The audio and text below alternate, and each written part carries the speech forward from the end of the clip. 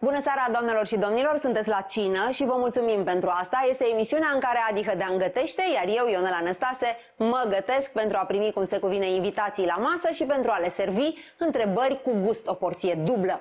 Invitatul nostru din această seară este primarul sectorului 1 al capitalei, Clotilde Darman, practic o franțuzoică în micul Paris. Salutare, Adi, ce mai faci? Te-am prins cântând. Păi mai prins cântând pentru că așa sunt eu, vesel, cânt, pictez, fac toată arta. De exemplu, sparanghel cu ou și cu trufă neagră din Transilvania. Uite, uite cât e de mare. Cum miroase? Păi miroase foarte frumos, miroase așa nuci coapte. E, e ceva foarte fain și foarte fin în același timp. Mm. Asta o să fie antreul vostru din această seară. Iar pentru felul principal, șnițel, un șnițel pe care îl fac din ceafă de porc și lângă el o să vă dau uh, andive făcute la tigaie cu un pic de unt, cu usturoi și cu pătrunjel, super, super bun. Un pic mai mult unt, că un pic de unt nu există. Domnul șef, am o întrebare. Vă rog, doamnă. Este legată de bucătărie, de domeniul în care dumneavoastră activați. Nu, am sperat că nu mă întreb de administrație, nu știu ce să zic. Noi suntem în sectorul 1, 3. 3. Uf, am scăpat de controlul doamnei primar. Geam, dacă te uiți pe geam și o să vezi că sunt desparte străzile, suntem în sectorul nimănui. Suntem bine, da? Da. Întrebarea mea legată de șnițel e următoarea. Șnițelul da. nu se face din vită? Auzi, șnițelul vienez, care e șnițelul vienez de la mama lui, se face din carne de vițel, știi?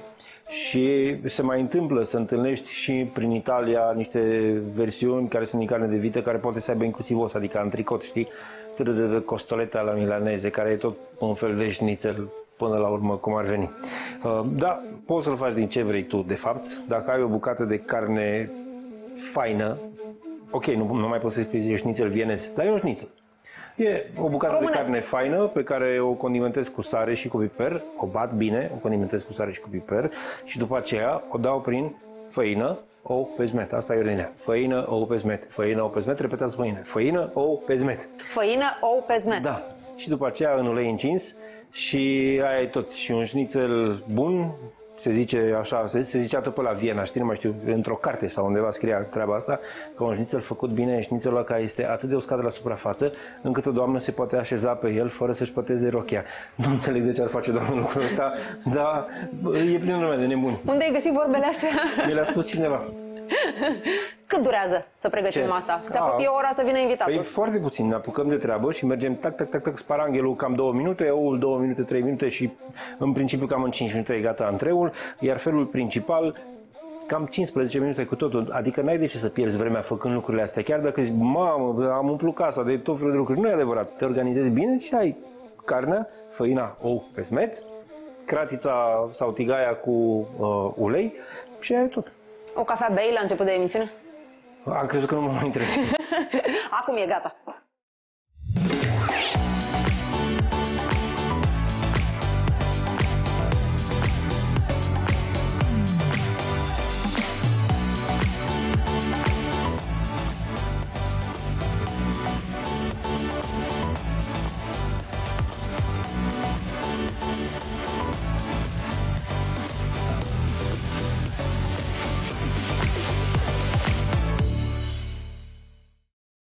Clotilde Armand, primarul sectorului 1, vine în această seară la cină. Bună seara, doamna primar! Bună seara! Bună seara!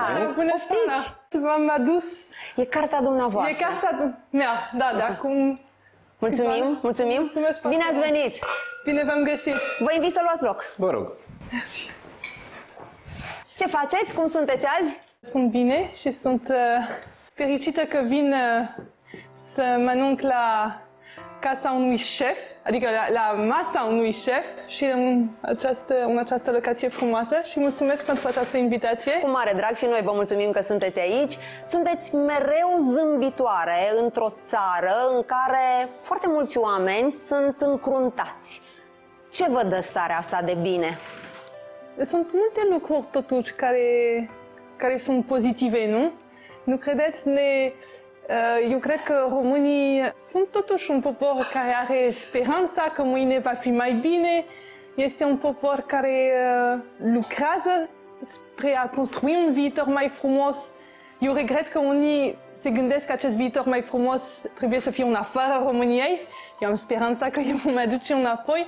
Dar noi toți ne gândim la viitor și suntem un popor care credem și în familie și eu am o familie Și atunci nu, sunt multe lucruri care ne bucură. Sunteți gurmandă, v-am invitat la masă, vreau să știu cum Știți că mâncați. eu sunt un gourmet, adică um, primii 20 de ani din viața mea uh, eram, am fost crescută în Franța și uh, într-o familie veche unde, da, contează ce mâncăm, știți? Eu n-am fost la McDonald's în primii 20 de ani din viața mea și atunci nu sunt uh, uh, aceste gusturi mai um, moderne sau mai americane, eu n-am, n-am fost crescută cu ele și sunt, da, eu știu să apreciez ce este bun și uh, am, uh, cum se spune, se spune palet, am un palet educat, nu? Am uh, un gust, Gust. educat, da. Știu ce este bun și ce este mai puțin bun, da.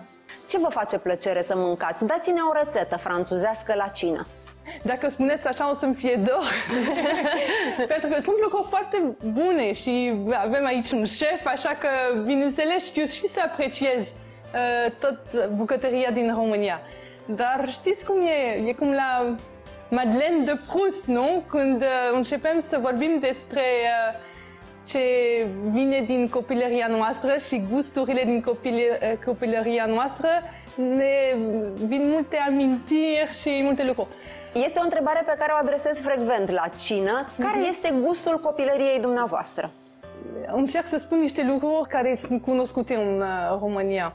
Uh, numele lor. Um, dacă spun de quiche Lorraine, știți ce este, bineînțeles? Este deja în meniul majorității restaurantelor de pe la noi, nu? La mic Da, Aveți dejun. dreptate, aveți dreptate. Nu era acum 20 de ani, dar acum este, așa este, așa este. Începem cu uh, seara, pentru că suntem seara, începem cu un potaj. Potaj este un fel de cremă de legume, da, așa spunem noi, potaj. E, uh, la început în România uh, nu înțelegeam conceptul de ciorbă, știți? Nu e nici o cremă de legume, nici legume, așa, e lichid, dar cu legume. Pentru mine era ceva ciudat, acum apreciez. Apreciez foarte mult acum. Vede, mi-a luat un pic de timp, dar acum o ciorbă bună e ceva extraordinar. Francezii au acest uh, potaj. Pentru români e ciudat, pentru că e ceva pasat deja, e pentru copii și nu, la noi e, bine, acum se numește cremă aici în uh, România. După potaj, uh, poți să ai, um, dacă este o zi mai specială, poți să ai foie gras poți să ai un quiche Lorraine, poți să ai lucruri un pic mai speciale, cum escargot. Data trecută când m-am dus uh, în Franța, mă duc o dată pe an, așa, chiar uh, copiii mei pentru prima dată au mâncat niște escargot. Melci. Melci, da, scuze, melci. și uh, chiar fetița mea, vedeți, care toți copiii mei sunt români, nu mai sunt francezi, știți?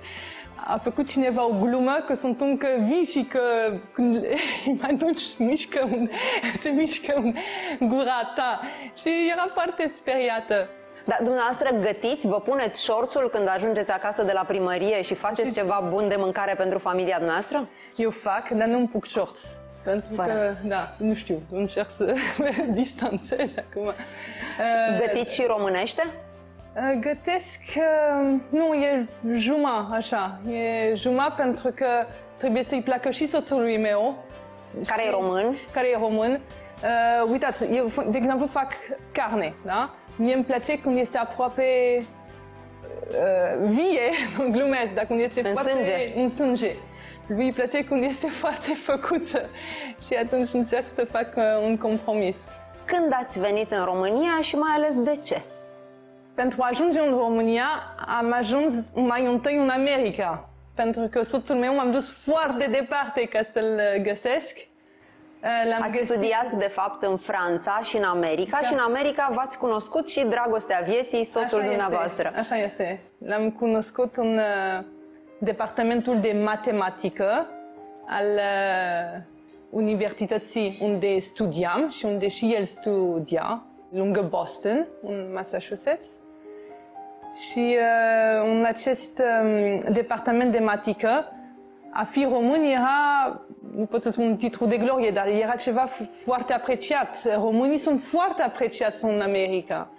Uh, cei mai buni erau români în departamentul acesta de matematică. De fapt, pe tablă scria um, sunt un marinar român, pentru că cei care erau acolo, din toate naționalități, uh, învățau un pic de română și asta era prima frază pe care o învățau. Și acolo m-am întâlnit cu mai mulți români, printre care și uh, soțul meu. Vă amintiți cum a fost prima întâlnire? Da, e- el, uh, îmi amintesc, era într-un cămin de studenți, uh, apoi am fost în departamentul de matematică și uh, românii se jucau la bridge. Pentru mine, uh, doar uh, oamenii în vârstă Jucau bridge. Ju- jucau, da, nu se jucau, jucau bridge, da. Și uh, am fost intrigată și m-au invitat și pe mine să, să intru în echipă, adică să joc și așa i-am cunoscut. Da. Și ați rămas în echipa soțului dumneavoastră. Am echipa cu el, dar nu prea joc bine. Bridge a fost foarte dezamăgit din acest punct de vedere. Am pretins așa pentru că credeam că se învață repede, pentru că îi vedeam pe părinții mei, de fapt nu, e, e un joc mai complicat. Un joc așa de creier, unde românii sunt foarte buni. România era un, o naționalitate foarte apreciată și recunoscută în, în America. Wow, mulțumesc foarte mult! Cu plăcere. A, niște aspergi, aspargă, Mulțumesc. foarte frumos. Păi ne explică, Adi. Păi vă explic, da, că nu o să vă las așa neexplicate. Da, neștiutoare la masă. Vă rog, doamna primar. Da, Mulțumesc poftă bună. mult. Uh, Avem acolo sparanghel um, pe care doar l-am curățat puțin și l-am pus în tigaie, în tigaie fierbinte cu foarte puțin ulei de măsline, sare, piper și zeamă de lămâie. Și acela este un uh, gălbenuș pe care l-am pus tot așa în tigaie, dar nu l-am lăsat să se gătească complet, adică să și curgă puțin. Și deasupra trufă neagră și aia e tot. Poftă bună. E crocant. Da, mie așa îmi place. Ah, pâine. Fără pâine, cum să mâncăm uh, gălbenuș de ou? Pentru mine, oricum, pâinea e sfântă. Trebuie la fiecare masă foarte multă pâine. Și cum faceți de vă mențineți așa? Mănânc foarte mult, dar uh, sunt și foarte ocupată. Sunt multe lucruri pe care le fac și le fac cu foarte mult suflet și atunci presupun că asta se întâmplă. da. Dar uh, știți, aveți o pâine, o pâine bună. Asta mă șochează foarte des în uh, restaurantele din uh, România. Au o mâncare foarte bună și e o pâine Da, nu dau importanță. dar nu dau importanță și nu e, Nu e pentru bine. mine pâinea este jumătatea, adică exagerez că sunteți un uh, șef, dar e o, are o mare importanță. Și, și eu sunt la fel de Pâinea. surprins, pentru că noi suntem un popor care mănâncă foarte multă pâine și din lucru pe care tu îl mănânci cel mai mult să nu fie ceva bun cu adevărat, e un nonsens. Și de ce? Pentru că cred că s-au obișnuit cu pâinea asta de fabrică sau pâinea asta... E o pâine, că există și pâine de fabrică foarte bună, dar uh, e, e o pâine cu, cu pâinea foarte ieftină. Da, și pentru ei, dacă te-ai obișnuit la ceva uh, de mic, nu te gândești să iei ceva mai bun, știți? Pentru că e un, un gust la care te-ai obișnuit de mic și e, e bine așa. Eu am fost obișnuită la o pâine foarte, Foarte bună, bună. și atunci... uh, Da, da, chestia, adică, da, lucrul ăsta este valabil pentru cumpărăturile pe care și le face fiecare acasă, dar eu cred că în activitatea pe care o avem noi, adică în ospitalitate, e cumva o datorie să le oferi oaspeților tăi niște lucruri de calitate superioară. Adică trebuie să faci propunerea asta în permanență. Pentru că, ok, pot să fie oameni care să spună, da, asta nu mi-a plăcut atât de mult, sau asta nu mi-a plăcut deloc, sau a, în virtutea obișnuinței, dar până la urmă lucrurile se schimbă. Schimbarea asta trebuie să vină ca o propunere permanentă, altfel nu are cum să se Dar petreacă. dacă niciodată n-ai probat o pâine mai bună, nici nu știi că există. Da. Am rămas cu discuția noastră înainte să ne întrerupă foarte frumos Adi cu acest minunat fel de mâncare la de ce ați venit în România. Am aflat de ce, nu mi-ați spus când. Acum mult timp, chiar dacă accentul meu dă impresia că am ajuns ieri. Uh, în 99 am venit cu un soț și o, un bebeluș. Uh, acum 21 de ani, acum mult timp. Care a fost prima impresie pe care v-a făcut-o România? Înainte să vin definitiv, în 99, acum 21 de ani, am venit o vară, de fapt. Nu mai erau cursuri și am luat avionul și am venit. Și uh, viitorul meu soț a fost foarte șmechier, nu știam acest cuvânt atunci, dar m-a luat, mi-a, a făcut un tur așa de noapte în București, mi-a plăcut foarte mult, dar n-am stat foarte mult în București. M-a luat direct la munte. A fost atât de frumos, m-a încântat. Să știți că sunt niște peisaje unice în Europa ce avem noi, pentru că nu mai sunt locuri care sunt cultivate la munte, unde pur și simplu sunt încă oameni care cu uh, instrumentele de înainte uh, uh, tai uh, Cu sapa, bunul, coasa. cu sama, da. Și asta creează niște peisaje deosebite și aceste căsuțe de lemn, aceste uh, sate uh, de munte sunt ceva unic care trebuie conservat. Și mi s-a părut atât de frumos, mi s-a părut că este o țară unică, care uh, are un farmec extraordinar. Și da, mi-a plăcut foarte mult și am văzut cât de aproape este de București. Totuși e incredibil să poți să fii într-o capitală și Bucureștiul este capitală sud-estul Europei, nu este doar capitala României, da? este capitala regiunii. La o oră, două ore ai niște peisaje extraordinare unde poți să respiri, unde îți umpli ochii de ce vezi și o lună întreagă sau nu pot să spun un an, dar ai aceste amintiri și te, aceste imagini care te uh, care rămân în tine și te motivează. E un lucru foarte frumos acest, acești munți, ac- un munte, doi munți, nu? Este masculin, în franceză e feminin. Atunci acești munți sunt o, o comoară pentru România. Și, am, și soțul meu mi-a spus, ok, atunci mi-a propus să ne căsătorim și mi-a spus, "Da, eu mă întorc în România, vii cu mine. Și am spus da. Cum a venit cererea în căsătorie? Aici, în România? da, aici în România, aici în România. Ne-am întors în America atunci, el își făcea doctoratul, uh, eu am, uh, mi-am terminat masterul uh, și am lucrat, am, uh, l-am așteptat, el își făcea studiile, am avut și o, o fetiță, eu eram jumătate la birou și jumătate acasă, dar lucram full-time. Era, nu era COVID, dar tot la fel, era online, ca să, să pot să mă ocup și de fetițaj, dar era, atunci era bula internet. Eu, toată lumea își dorea niște resurse umane și nimeni nu își dorea să, să mă opresc de muncă. Și atunci munceam acasă, munceam la birou și el invers. Își făcea doctoratul, jumătate acasă, jumătate la universitate. Am stat încă trei ani în America, și apoi am, uh, și, a, și a respectat cuvântul față de țării lui, față de uh, familiei lui, a venit în România cu mine. 21 de ani mai târziu, Da. sunteți uh, căsătorită, sunteți mama a patru copii. E grea meseria de mamă? E grav pentru că dacă vrei să fii un părinte foarte bun, trebuie să fii exemplar. Pentru că copiii, ei știu și ei simt adevărul. Dacă tu vrei ca copiii tăi să fie niște copii verticali, copii care cunosc, care știu care sunt valorile adevărate, copii care sunt piloni ai societății, niște copii așa care vor trage în spatele lor o comunitate întreagă, pentru că ei știu care este drumul corect, dacă vrei niște oameni adevărați, știți? Dacă vrei să faci asta, și asta este ambiția mea ca mamă, trebuie și eu să fiu așa cum mi-aș dori să fie copiii mei. Să nu spun că confortul meu contează mai mult decât binele tuturor, de exemplu. Că astăzi vreau să mă ocup doar de mine și să nu mă ocup de ceilalți.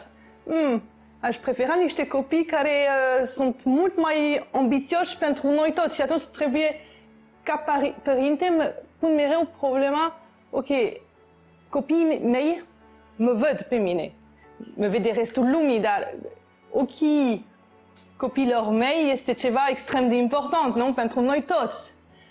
Oare fac exact ce aș fi dorit ei să vadă? Știți? Copiii studiază în România. Eu cred foarte mult în sistemul de învățământ din România. Sistemul de stat sau privat? De stat. De stat. Da, De stat. da. Noi am ales uh, să locuim în sectorul 1, unde a copilări- copilărit soțul meu și acolo avem niște școli extraordinare. Eu știu că am mereu o perspectivă diferită de ceilalți oameni și mereu trebuie să explic. Eu am văzut rezultatul educației din România la vârf, adică românii pe care i-am cunoscut erau cei mai buni din lume. Eu asta am văzut. Asta a fost primul meu contact cu România.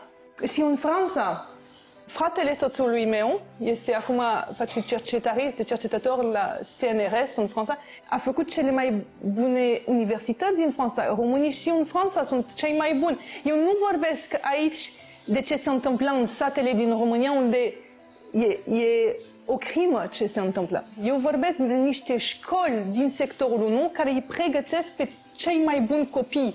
Am șansa ca copiii mei au beneficiat de aceste școli, au și ei învățat și uh, mulțumesc României că le-au oferit copiilor mei o educație de foarte bună calitate. Creștem niște oameni foarte competenți aici, în România.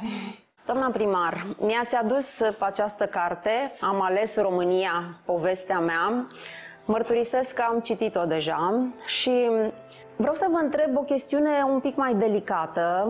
Povestiți în această carte și tragedia care v-a marcat existența, decesul celor doi copii. Curiozitatea mea este de ce ați ales să vă dezgoliți astfel sufletul? Eu nu știam că voi fi urmărită atât de mult cum sunt urmărită, știți? Dar știam că oamenii uh, se vor interesa uh, și îmi vor pune întrebarea de ce ai venit, ce s-a întâmplat cu familia ta, ce s-a... Adică sunt multe întrebări despre mine și știți, de ce mai amuzant, mi-am păstrat acest nume Clotilde Armand, chiar dacă nu voiam, pentru că în momentul în care mi-am luat cetățenia română, mi-au obligat, adică nu am avut de ales, să-mi reiau numele francez, pentru că în Franța nu-ți schimbi niciodată numele. Și atunci mi-am spus, ok, ți-a luat cetățenia, trebuie. Ok, și atunci sunt multe întrebări chiar legate de numele meu, de parcursul meu, de viața mea. Și am vrut să explic și să explic um, în mod cel mai sincer, înainte să se speculeze, înainte să se să fie inventate lucruri despre mine. Și atunci am scris chiar înainte să știu că voi fi atacată pe niște lucruri cum e Bechtel, care este o invenție completă și dacă cineva citește, vede acest lucru. Știți, cu autostrada Bechtel, cu tot ce s-a inventat. Mulțumesc foarte mult! Da.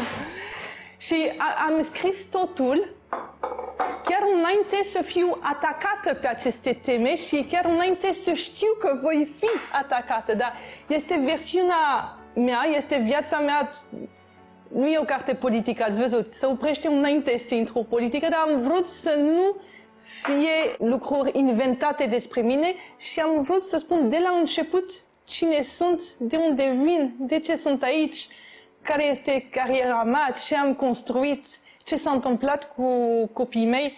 Vă dați seama, e foarte dureros când cineva face niște speculații despre viața ta personală. Și am vrut să evit acest lucru, mai ales pentru copiii mei și faptul că am scris această carte, nimeni n-a mai spus nimic, pentru că e atât de ușor să afli adevărul, încât uh, ar fi fost o rea credință incredibilă să, să, să spui altceva decât, uh, decât ce am explicat. Știți? Da, eu sunt convins că vă întâlniți cu o rea credință incredibilă chiar și așa. Da, dar e mai dificil când uh, totul este în ce privește viața mea personală cred că uh, nu-și permit, pentru că sunt anumite um, reviste, uh, sunt oameni uh, ca dumneavoastră care au citit, care au scris câteva cuvinte și oamenii știu ce s-a întâmplat și atunci nu mai e nevoie să se speculeze și să povestească niște lucruri care nu sunt adevărate.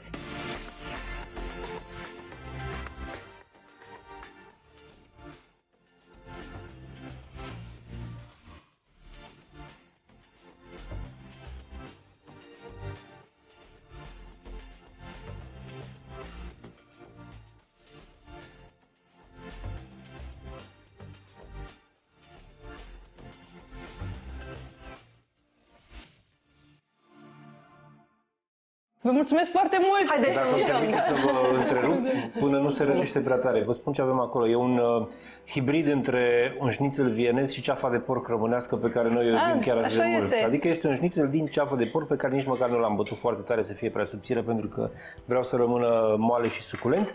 Și lângă am pus niște andive pe care le-am gătit în unt cu zeamă de lămâie, sare piper, adică totul este foarte simplu și acolo mai aveți niște lămâie, dacă simțiți nevoia să puneți peste șnițel, puteți să o faceți, dacă nu, nu e obligatoriu, eu mă simt bine și așa. Porcul este um, cea mai apreciată mâncare din România, de departe. Ducem dialogul altfel mai departe, nu acum că am mâncat uh, bine. Știți că orice, um, orice meeting politic, în mod normal, eu n- n-am învățat asta, că n-am făcut politică în viața mea, adică n-am făcut în viața mea, acum am făcut.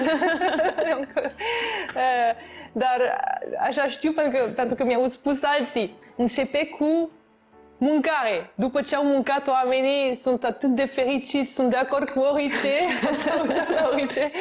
Dacă n-au mâncat, sunt nefericiți, uh, sunt uh, luptători, bătăioși, nu, nu sunt uh, mulțumiți. Așa că mâncarea te face, uh, uh, adică orice conflict uh, se aplanează după o mâncare bună. Unde este mai greu pentru dumneavoastră, acasă cu patru copii sau la primărie? Ah, nu se compară. Da. Bine, e adevărat că am uh, patru adolescenți și atunci e totuși uh, ceva redutabil. simplu. Dar uh, la primărie uh, e dificil. Ce v-ați luat cu dumneavoastră de acasă în biroul de la primărie? Ce ați dus acolo? Lucruri personale. Lucruri personale. Să știți că biroul meu nu e biroul meu. Eu sunt peste tot, că trebuie să fiu peste tot. Strada este biroul meu, blocurile care se reabilitează sunt uh, acolo trebuie să fiu. Și uh, biroul acesta este un birou de protocol frumos, cu niște uh, opere de artă uh, frumoase. De asta am ținut ca uh, televiziunea să vadă și când sunt întâlniri, să întâlnesc și un biroul meu, știți? Când uh, vin musafir, nu doar ai mei, dar și pentru alte direcții, sau vin un biroul meu, așa că nu pot să spun că uh, e biroul meu. Dar trebuie să știți, ce am adus de acasă este um, un gust. A, a, nu știu, ați fost deja în primăria sectorului, eu nu? În vremea dumneavoastră nu. Ați văzut cum e- a fost renovată clădirea? Este o clădire bruncovenească. Am scos din primărie ce mi se părea că ascunde frumusețea clădirii. Au, erau niște lucruri acolo. Nu-mi plac mobilele de pal, de exemplu. Le-am scos. Ați înlocuit în primărie palul cu lemnul? Am scos aceste birouri care erau peste tot ca să fie niște spații uh, mai uh, mari. Acolo, coridoarele, care sunt frumoase, erau cu foarte multe mese peste tot. Eu, de fapt, ce am făcut? Am scos și hârtia. Și atunci nu mai e nevoie așa de mese cu hârtii peste tot. Când uh, era o ședință de consiliu, erau tone de hârtii pentru a pregăti și atunci era, un nevo- era nevoie de mese pentru a pune aceste hârtii. Dacă eliminăm hârtia, eliminăm aceste birouri uh, așa de proastă calitate, avem spațiu și este digital, avem ecrane unde putem să vedem ce se... Și atunci e mult mai... Uh, Și cum mai semnați dumneavoastră documentele? Știți că primul lucru pe care am făcut, am eliminat ștampila, dar n-am, n-am reușit complet. Asta a fost după câteva zile. Nu mai pun ștampila pentru um, documentele uh, financiare. Dar sunt încă instituții care cer ștampila. O să reușesc, o să înving uh, în lupta mea împotriva ștampilelor. Da. Știți expresia semnează ca primarul? Da. Semnați, semnați ca primarul? V- v- Știți ce se întâmplă? Încă nu am delegat uh, multe lucruri și atunci semnez foarte mult. Pentru că înainte să deleg, trebuie să înțeleg. Trebuie să înțeleg exact despre ce este vorba, care sunt diferitele cazuri care se întâlnesc, să înțeleg cum răspunde primăria, care este punctul de vedere al funcționarilor și după ce am înțeles și sunt de acord, atunci pot să deleg și altcineva să semneze în locul meu. Vă temeți de capcane puse în fața dumneavoastră la semnat? Da. Nu neapărat de capcane, că a trebuit să fiu mult mai uh, atentă, să știți, mult mai atentă, dar uh, de faptul că ce mi se dă de semnat nu se încadrează în viziunea pe care o am pentru acest uh, oraș. Da? Vă dau un exemplu. mi se cere demolarea unei vile. Dacă semnesc ca primarul, o să semnesc să demolez o vilă de stil neobrâncovenesc care face identitatea acestui oraș. Haideți să lăsăm primăria uh, deoparte. V-ați luat cetățenia în 2015. Ce nu știți astăzi despre România? Ce simțiți că n-ați cunoscut îndeajuns despre poporul român? Eu sunt ca o, un adolescent, de fapt, român, pentru că am, am 21 de ani de România, știți? Și atunci am încă lucruri de descoperit, exact cum are un uh, copil, bine spun copil, un tânăr de 21 de ani nu a descoperit totul despre România. Și eu sunt Așa, am încă multe lucruri pe care nu le-am descoperit. Să știți că am fost în fiecare județ. Când am luat cetățenia, am avut niște întrebări despre istoria României, despre geografia României, despre cultura României. Și mă amintesc foarte bine de aceste întrebări, pentru că a fost un moment uh, cu stres maxim pentru mine. Și uh, în geografie m-au întrebat care este capitala de județ a județului Sălaj. Am știut! este Zalău. Da. Doamna primar, sunteți româncă sau franțuzoaică? Sunt româncă. Pentru că România este țara mea de adopție. Și este o țară pe care am ales-o. Și România m-a ales, dar și eu am ales România. Am ales România. Am ales România, așa este. Este ceva pe care mi l-am dorit pentru care am muncit foarte mult și muncesc în continuare ca să fiu adoptată de români. Am acest accent care mă tradează la fiecare cuvânt pe care îl spun. Sunt și obosită acum și atunci fac și multe greșeli. Ați lucrat multă vreme în managementul unor companii mari Da. din uh, țara asta. De Da. ce v-a atras politica? Pentru că meseria pe care o aveați era bănoasă. Da, eu nu, nu sunt atrasă de România din motive de bani, asta e clar. Din potrivă. Nu, uh, n-are nicio legătură cu cariera mea profesională. De, de fapt, a fost uh, o renunțare. Uh, Eu mereu am avut succes profesional. Da? Și am avut o carieră care a progresat. Cariera mea ar fi progresat și mai mult dacă n-aș fi intrat în politică. Adică a fost dificil pentru mine să renunț la cariera asta. Am intrat în politică din complet alte motive. Am intrat pentru că um, era o luptă pe care o duceam de mult și la un moment dat lupta aceasta era sau reușim să facem ce ne doream și trebuia să intru în politică, eu, nu alții. Mie îmi plăcea ideea că alții fac, știți? Noi toți ne gândim, a, e bine, trebuie cineva să, trebuie cineva să. Noi știm ce trebuie făcut, dar vrem ca altcineva să facă, știți? Și atunci m-am găsit în fața unei alegeri. Fac eu ce spun că alții ar trebui să facă sau uh, nu renunț la confortul meu și copiii mei o să-mi spună mai târziu, vezi, nici tu n-ai făcut nimic. Spuneți-mi, doamna primar, în vremea în care erați șefă, ca așa se spune, în mari companii, Da. s-a întâmplat să refuzați cadouri pe care le-ați considerat drept mită? Pentru că știți, Oh, plicul... regulile erau clare. Tot ce era peste 100, valoarea, uh, o valoare, de fapt era 100 de euro în general, trebuie uh, declarat, refuzat. Eu am refuzat, da, sistematic. Tot ce era peste 100 de euro, uh, ce am acceptat? Buchet de flori. Uh, știți că românii mereu vin, sunt foarte uh, supletiști. Și e foarte greu de a face diferența între un cadou pe care ți-l face cineva pentru că e prietenul tău sau pentru că vrea ceva de la tine. Oricine care lucrează într-o corporație, eh, mai ales o multinațională, vede foarte bine că nu prea e loc de interpretare. Este foarte clar ce trebuie să faci. știi? Dar v-ați lovit de astfel de situații în care oamenii au M-am venit... lovit, dar după ce ai spus clar că m, acest tip de practică e ceva care intră în cont, toată lumea înțelege și nimeni nu mai încearcă.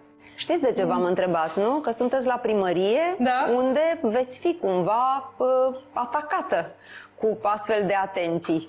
Nu, nu cred că nimeni nu știa riscul.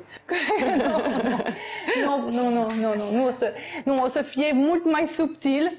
Sunt convinsă și mă întreb cum, care vor fi metodele prin care vor încerca. Dar e, nu, e imposibil, toată lumea știe că e prea riscant. Eu sunt persoana care face dosarele penale și eu trimit oameni la închisoare. Nu, nimeni nu va încerca cu mine. Nu, nu cred că există acest risc. Nu. Sunteți o persoană bogată? Da, sunt destul de bogată. Știți, nu sunt foarte bogată. Sunt bogată la nivelul la care ajung oamenii care au făcut niște studii foarte bune cum am făcut eu. În țara în care m-am născut, Franța, și de fapt în Europa de vest în general, există o meritocrație. Dacă faci niște studii bune și ești uh, un om care muncește și uh, reușește în viață, ești un om normal de bogat. Câștigi pe măsură. Câștigi pe măsură. Nu e ceva extraordinar, nu este o șansă, nu este, e ceva normal. Firesc. Da. Schimbând brusc subiectul, câte perechi de cercei aveți? Oh, am câteva. Am um, 5-6. Nu am foarte multe pentru că nu am uh, nicio gaură. Uh, și trebuie să fie clip, să fie uh, mari și să... Și cum aveți doar două urechi, câte perechi să aveți?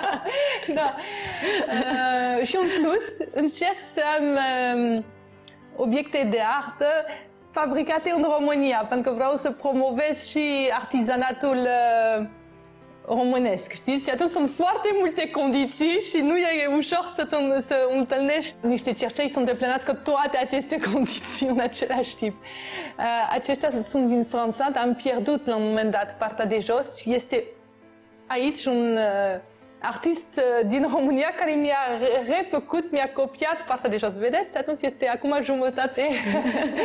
jumătate din România, jumătate din, din Franța, exact, cercei exact, dumneavoastră. Exact. Art Deco. Da. Avem uh, de puțină vreme în Republica Moldova un președinte femeie. Da. Credeți că România e pregătită să pună ștampila pe un nume de femeie la prezidențiale? Bineînțeles. Dumneavoastră vă vedeți candidând la prezidențiale? Nu. Trebuie să am foarte mult de făcut în sectorul 1. Îmi place ce am de făcut și vreau să, să se vadă această schimbare. Asta este obiectivul meu. Deci încă un mandat. Da, probabil. Probabil. Da, pentru că sunt multe lucruri pe care o să le fac în patru ani, dar o să lansez niște lucruri pentru mai mult timp. Sunt anumite proiecte care iau mai mult timp. Eu cred că apoi o să mă ocup de nepoții mei, sper.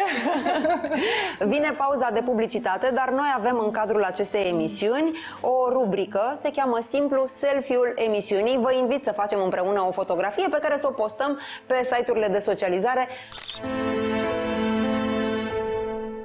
Rămâneți cu noi!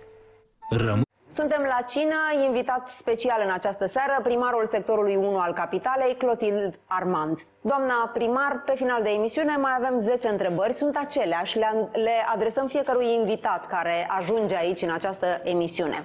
Când ați plâns ultima dată? Când uh, a murit cineva foarte drag din familia mea, da. Ce contează mai mult, să fii fericit sau să ai bani? Bineînțeles, să fii fericit, da. Care a fost cea mai plăcută, cea mai frumoasă vacanță din viața dumneavoastră? Toate vacanțele unde sunt cu toți copii.